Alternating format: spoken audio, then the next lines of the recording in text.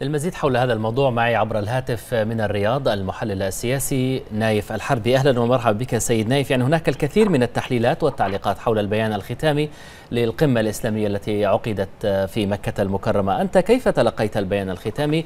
لا سيما ما يتعلق بعلاقة الدول الإسلامية فيما بينها وعلاقة الدول الإسلامية والشعوب الإسلامية أيضا مع العالم.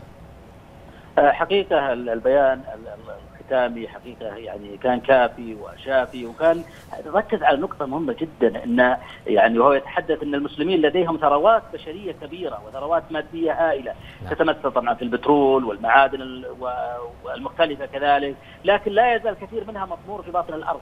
يعني بمعنى إن المسلمين الذين يعيشون في مناطق استراتيجية في العالم ولا ينقصهم إلا الإرادة القوية والعزيمة الصادقه كذلك ركزت القمة على الهجمات التي طالت الأربع سفن وطالت أنابيب البترول في المملكة العربية السعودية لكن المجتمعون حقيقة رسموا يعني كما يقال خارطة طريق لعالمنا الإسلامي. أكثر من 58 دولة إسلامية لديها القدرات. العالم الإسلامي لديه قدرات عسكرية لديه قدرات بشرية لديه قدرات اقتصادية ولكن كيف يستخدم هذه القدرات؟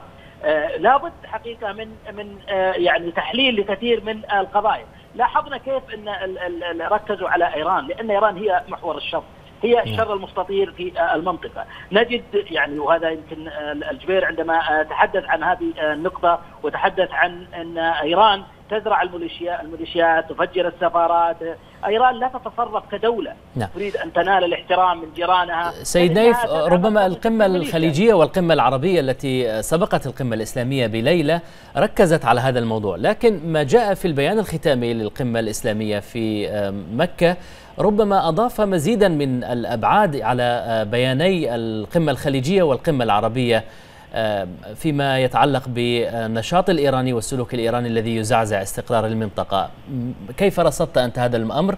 وكيف يمكن للقمة الإسلامية من خلال بيانها أن تضيف مزيدا من الأبعاد على السلوك الإيراني الذي تم إدانته ورفضه بالاسم في بياني القمة الخليجية والقمة العربية؟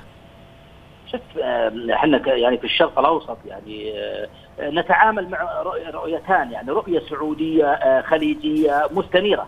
نعم. وعربية وإسلامية وأخرى أيرانية ظلمية، يعني رؤية إيران، إيران لديه رؤية ظلمية، إيران يعني آه النظام الإيراني يواصل اولا دعم الإرهاب، عندها أكثر من 60 ميليشيا، وأن هناك يعني يعني الكل يدرك بأن طهران أكبر آه يعني راعية للإرهاب في العالم. النقطة الأخرى المملكة دائما وحلفائها طبعا وكذلك مع دول مجلس التعاون والدول العربية ودول العالم بشكل عام تؤكد أن يعني على أن إيران دائما تعمل يعني خلاف ما يعني ما تظهرها أحيانا حتى من خلال وسائل التواصل الاجتماعي، لكن يجب أن نعرف أن إيران ليست دولة طبيعية بالمفهوم المتعارف عليه للدول ولا يغرنا نسمع أن هناك لديها يتحدثون لديهم جناح يسمى معتدل وكذلك نجد أن النظام الإيراني لا يعترف بالمواثيق والعهود الدولية، لا يعترف بالحدود السيادية التي بينه وبين الدول الأخرى، كذلك نجد يعني العبثية الذي نجدها الآن، يعني تصور أن هناك مبادئ وقواعد ونظام وقانون دولي ونظام حسن جوار وأنظمة كثيرة وكذلك تسامح إسلامي وديني، هذا ما هو موجود عند إيران، مشروع إيران يهدف إلى إسقاط الدول العربية الواحدة تلو الأخرى، وهو يقول نعم نحن أسقطنا أربع دول عربية.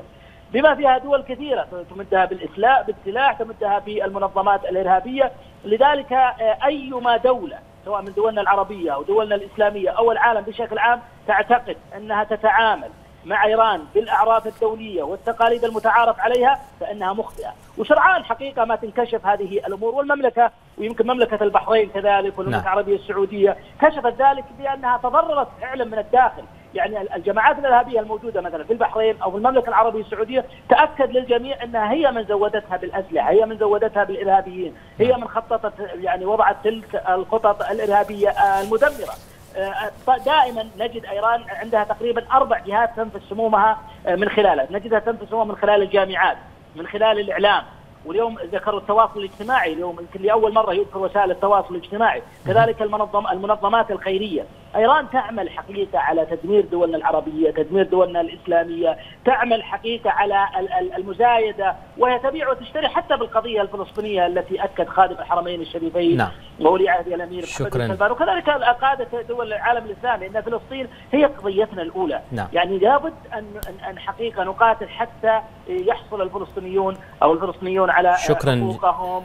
شكرا نعم. جزيلا لك من الرياض نعم. المحلل السياسي نايف الحربي كل الشكر لك.